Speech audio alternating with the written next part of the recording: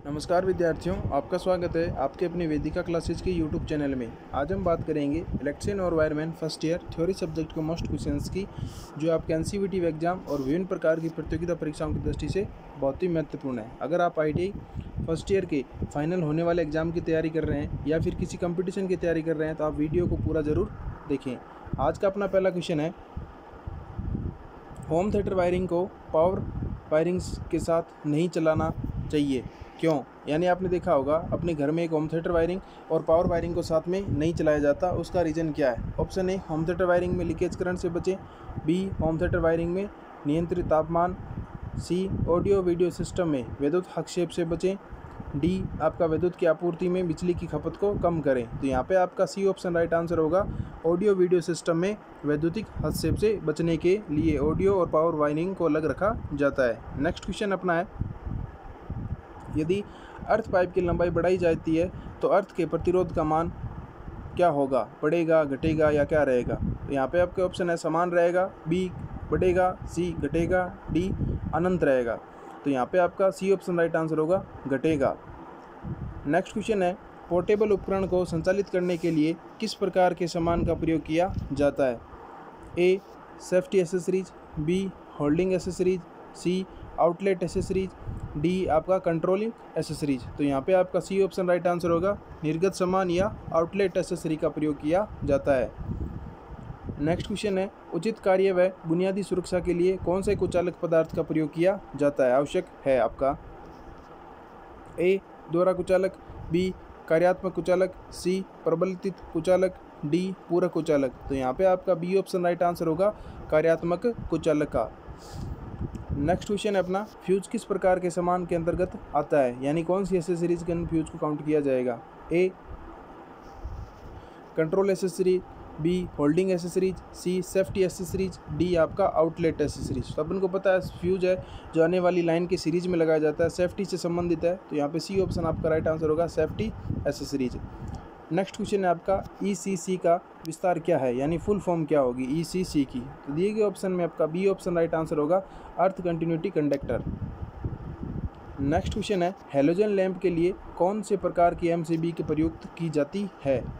L श्रृंखला M C जी श्रृंखला M D C श्रृंखला एमसीबी और नेक्स्ट है आपका एल व जी श्रृंखला एमसीबी तो यहाँ पे आपका बी ऑप्शन राइट आंसर होगा जी, श्रृंखला एमसीबी आप सभी को पता है, भाई, जब क्वेश्चन हिंदी और इंग्लिश दोनों लैंग्वेज में दे रखा हो तो आपको इंग्लिश लैंग्वेज को भी थोड़ा ध्यान में रखना चाहिए। इसमें थोड़ा ये मिस प्रिंटिंग हो गया तो इंग्लिश वाला राइट है आपका। जी, श्रृंखला एम बी ऑप्शन है आपका राइट आंसर होगा। नेक्स्ट क्वेश्चन है आपका 300 वाट से ऊपर के लैंप के लिए किस प्रकार के लैंप धारक का प्रयोग किया जाता है? यानी कौन से होल्डर का अपन यूज़ करेंगे? A Edison screw lamp B goliath C कोण होल्डर? डी आपका ब्रैकेट होल्डर। तो यहाँ पे आपका बी ऑप्शन राइट आंसर होगा, गोलियंत पेज होल्डर। यानी इसमें क्या होता है, जो आपका बल्ब होगा, उसके पीछे भी स्क्रू की चूड़ियाँ होती है और जो होल्डर होता है, उसमें भी चूड़ियाँ होती है, ताकि बल्ब को उस होल्डर के अंदर आगे स्क्रू करके उसको कस दिया जाता है। तो बी ऑप्शन आपका राइट आंसर होगा।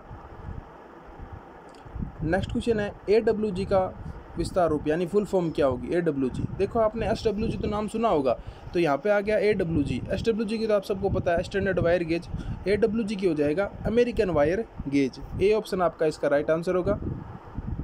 नेक्स्ट क्वेश्चन है कि बी इस प्रतीक का क्या नाम है? यानी आगे एक सिंबल दे रखा है, और सिंबल पूछा है, ये सिंबल का क्या नाम है? देखो विद्यार्थियों जल्दी सभी प्रकार के सिंबल से संबंधित एक वीडियो लाई जाएगी, जिसके अंदर सभी प्रकार के इलेक्ट्रिकल के इलेक्ट्रॉनिक्स के सिंबल्स का पूर्ण रूप से विस्तार से आपको अध्ययन करवाया जाएगा। तो ये जो सिंबल दे रखा है, इसमें देखना है, लैंप का है टू वे स्विच का है इंटरमीडिएटर स्विच का है, या बहुस्थिति स्विच का है। तो दिया गया सिंबल आपका इंटरमीडिएटर स्विच से संबंधित है तो यहाँ पर सी ऑप्शन आपका राइट आंसर होगा। नेक्स्ट क्वेश्चन है कि आरेख का प्रकार क्या है? यानी अगर आपको डायग्राम दे रखा है और पूछा है ये कौन सा है आपका? वायरिंग आरेख है, परिपथ आरेख है, स्थापना आरेख है या लेआउट आरेख है? तो यहाँ पे दिया गया जो आरेख है आपका, ये वायरिंग आरेख से संबंधित है, यानी वायरिंग की हुई है आपके। तो यहाँ पे ये ऑप्शन आपका राइट आंसर होगा। नेक्स्ट क्वेश्चन देखेंगे। बी आई एस के अनुसार एकल चरण घरेलू वायरिंग में तांबा अर्थ निरंतरता कंडक्टर न्यूनतम आकार होगा। यानी जो B S single phase wiring में घरों के अंदर जो तांबे का अर्थ निरंतरता कंडक्टर का न्यूनतम आकार कितना होगा? तो दिए गए चार ऑप्शन को अपन अच्छे से पढ़ेंगे। तो आपका डी ऑप्शन राइट आंसर होगा। डेढ़ स्क्वायर एम का आपको अर्थिंग के अंदर प्रयोग करना है। नेक्स्ट क्वेश्चन है आपका। मौजूदा अर्थ संयोजन में अर्थ प्रतिरोध मान को कम करने के लिए किस पद्धति का प्रयोग किया जाता है? ए आपका इलेक्ट्रोड की लंबाई बढ़ाने के लिए, बी धरती के गड्ढों में हमेशा गिला रखने की स्थिति के लिए, सी आपका गड्ढे और रेत को चारकोल भरना, डी आपका है भू इलेक्ट्रोड का व्यास बढ़ाना। तो यहाँ पे यानी कहने का मतलब क्या है, मौजूदा अर्थ संयोजन में अर्थ प्रतिरोध के मान को कम करने के लिए किस पद्धति का प्रयोग किया जाएगा? यहाँ पे आपको पता है, बी ऑप्शन राइट आंसर होगा, गड्ढे को हमेशा गीला रखना होता है। तो बी ऑप्शन आपका राइट आंसर होगा नेक्स्ट क्वेश्चन देखेंगे। अर्थ प्रतिरोध परीक्षक का प्रयोग करके अर्थ के प्रतिरोध को मापने के लिए ऐसी की आवश्यकताएँ क्यों हैं? तो ए करंट की नियमन करने के लिए वोल्टेज पाथ को बढ़ाने के लिए वोल्टेज पाथ को घटाने के लिए, या वोल्टेज या विद्युत अपघटीय विद्युत वाहक बल को हटाने के लिए। तो यहाँ पे आपका डी ऑप्शन राइट आंसर होगा, विद्युतीय अपघटीय में विद्युत वाहक बल को हटाने के लिए। नेक्स्ट क्वेश्चन अपना है कि सिंगल फ़ेज़ एसी वायरिंग परिपथ में वोल्टेज पाथ निकालने का फॉर्मूला क्या होता है? वोल्टेज ड्रॉप ज्ञात करने का। तो अपन को पता है ओम का नियम कहता है वी बराबर आई आर तो दिए गए ऑप्शन को अच्छे से देखेंगे तो आपका ए आम इसमें राइट आंसर होगा, वोल्टेज ड्रॉप बराबर आई आर नेक्स्ट क्वेश्चन अपना है I E Indian electrical rules नियम के अनुसार आपका जो उप परिपथ के लिए अधिकतम अनुमेय भार कितना होगा? यानी एक आपका जो सब सर्किट बनाया जाता है, उसके लिए अधिकतम लोड को कितना रखेंगे? तो दिए गए ऑप्शन में आपका डी ऑप्शन राइट आंसर होगा तीन हज़ार वाट नेक्स्ट क्वेश्चन है, उपभोक्ता मुख्य बोर्ड में सेवा संयोजन आपूर्ति किस स्थान से जुड़ी होती है?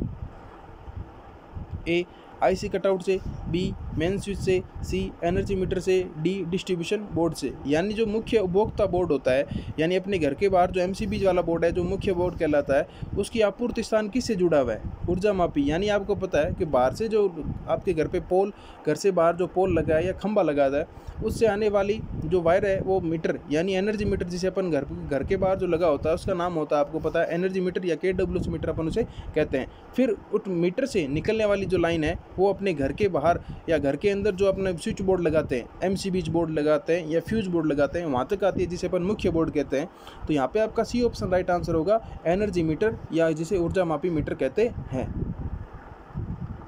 नेक्स्ट क्वेश्चन अपना है, घरेलू वायरिंग स्थापना में परीक्षण का प्रकार क्या है? यानी आप, आपके एक टेस्टिंग का दे रखा है डायग्राम और पूछा है, ये कौन सा टेस्टिंग किट है? A polarity test B continuity open circuit test C आपका चालक के मध्य कुचालक प्रतिरोध जाँच, डी आपका चालकों व भूमि के मध्य कुचालक प्रतिरोध जाँच। तो यहाँ पे आपका ए ऑप्शन राइट आंसर होगा पोलरिटी टेस्ट किया जा रहा है। इस डायग्राम को देखने से आपको पता चल रहा है। तो ए ऑप्शन इसका राइट आंसर होगा। नेक्स्ट क्वेश्चन है आपका, घरेलू वायरिंग स्थापना की अनुमानित रिवर्स वर्तमान क्या है? तो चारों ऑप्शनों को देखने से डी ऑप्शन इसका राइट आंसर होगा। एक बटा पाँच हज़ार into full load current next question है आपका, विविधता गुणांक की गणना करने के लिए कौन से फॉर्मूले का प्रयोग किया जाएगा? तो चार फॉर्मूले दे रखे हैं आपको डाइवर्सिटी फैक्टर के। तो सी ऑप्शन इसके अंदर राइट आंसर होगा डाइवर्सिटी फैक्टर ज्ञात करने का। ये थे आज के अपने कुछ महत्वपूर्ण क्वेश्चंस जो आपके एन एग्ज़ाम और विभिन्न प्रकार की प्रतियोगिता परीक्षाओं की दृष्टि से बहुत ही महत्वपूर्ण है। अगर आपको वीडियो अच्छा लगे तो लाइक शेयर ज़रूर करें। आप चैनल पर नए हैं तो चैनल को सब्सक्राइब करना ना भूलें। धन्यवाद।